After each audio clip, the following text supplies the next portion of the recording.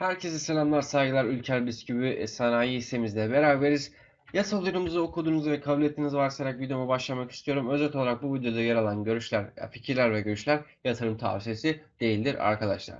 Şimdi Ülker Bisküvi'nin en son grafiğine bakarsak arkadaşlar e, şuradaki yükselişin ardından e, bugün o fazlaca yükselişi yapamadığını e, ben düşünüyorum şahsen. Şuradaki yükselişten e, elde edilen karlar e, satış e, şeklinde olmuş olabilir. Çünkü burada gelen bir sat sinyali var. E, yatırımcıların birçoğu ben e, hafiften bir karını aldığını düşünüyorum. E, yaklaşık olarak da yataya bağlamış gözüküyor. MACD'nin e, mumları da e, pardon arkadaşlar. MACD'nin e, sarı ve mavi çizgisi de zaten birbirine e, bitişik konumda gözüküyor.